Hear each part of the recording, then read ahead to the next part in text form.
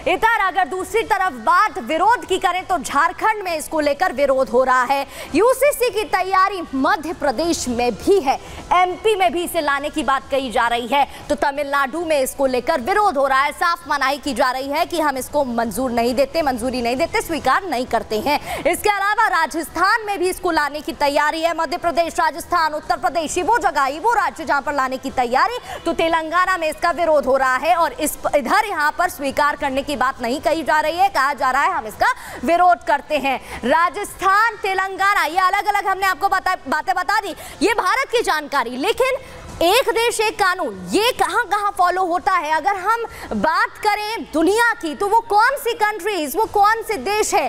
सबसे पहले अमेरिका, जो कि डेवलपिंग कंट्रीज़ में गिना जाता है पावरफुल कंट्री है। अमेरिका में भी एक देश, एक कानून है। इसके अलावा आयरलैंड की बात करें तो आयरलैंड में भी एक देश, एक कानून है। यहाँ पर भी यूसीसी अपनाई जाती है। यहाँ पर भी अलग अलग रिलीजन के अलावा के बिहाफ पर एक जैसे लॉज नहीं अलग अलग लॉज नहीं है, एक ही कानून है। तुर्की की बात करें, मिस्र की बात करें, सूडान की बात करें, ये वो सारी कंट्रीज़ वो जगह जहाँ पर एक देश, एक कानून अपनाया जाता है। यूसीसी कंडक्ट की जाती है फॉलो होती है, चाहे बात पाकिस्तान की हो, बांग्लादेश की हो, मलेशिया की हो, या इंडोनेशिया की हो, ये वो अलग अलग कंट्रीज़ की तस्वीरें आप देख रहे हैं, जहाँ पर यूसीसी अपनाई जाती है और यूसीसी फॉलो की जाती है। तो ये वो आपको तस्वीरें दिखा रहे थे अलग अलग जगहों की, जहाँ पर यूनियन माफ़ कीजिए यूनिफॉर्म सिविल कोड को लेकर बातें अपनाई जाती हैं और इसी के हिसाब से कानून है।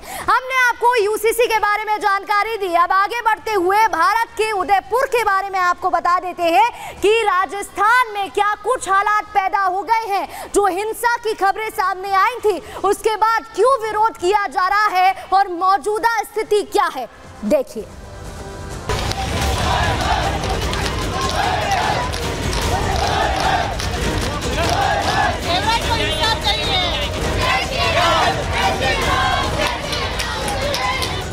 हो गए क्लियरली बता नहीं रहे कि भाई सिचुएशन क्या है। कुछ नहीं बता रहे वो इसका राजनीतिक गेम खेल रहे प्रशासन पूरा शक के दायरे में है प्रशासन सच नहीं बोल रहा है।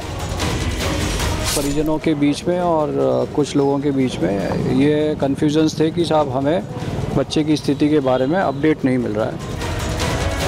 प्रशासन की तरफ़ से मेडिकल प्रशासन की तरफ़ से मेडिकल अपडेट्स जारी जा, जारी किए जा रहे हैं।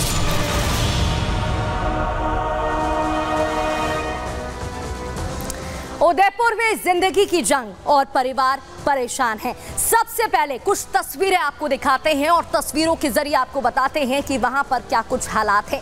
तनाव पैदा हुआ है। ये अस्पताल के बाहर, वो अस्पताल जहाँ पर वो बच्चा एडमिट है, भर्ती है, उसके बाहर की तस्वीरें, ये बच्चे की माँ है। ये जो तस्वीरें आप देख रहे हैं, ये बच्चे की माँ है, जो रो रही है, बिलख रही है, परेशान हो रही है, और इसकी बस एक ही मांग है कि आप मेरे बच्चे से मुझे मुलाकात करवा दीजिए, मिला दीजिए।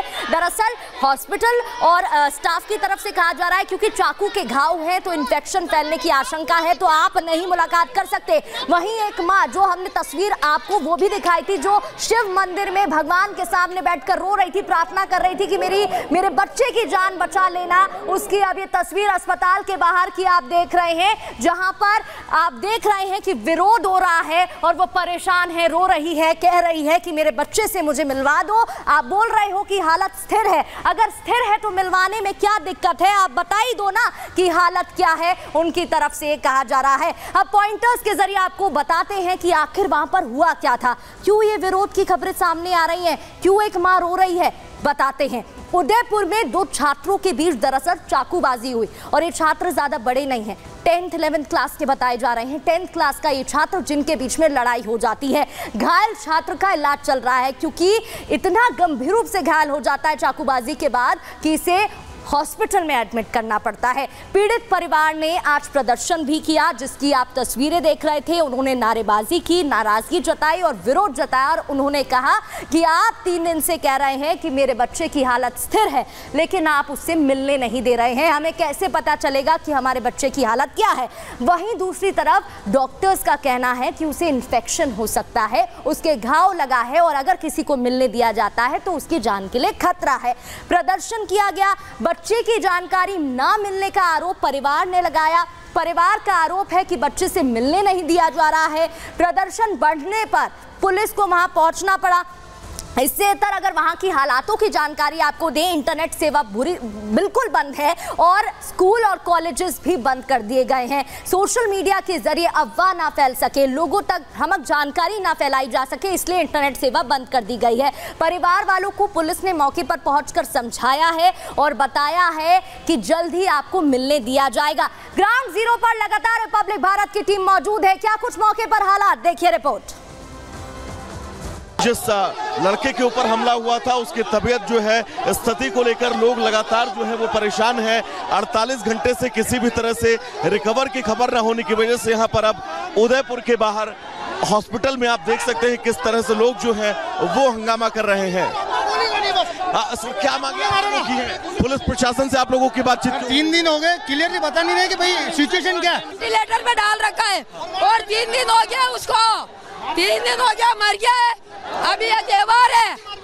देवार है, इसलिए क्या कभी ढेक दो। ठीक है ठीक है, ऐसे बोल रहे उसकी माँ को। क्या? बच्चे को बाहर निकाल दो आप।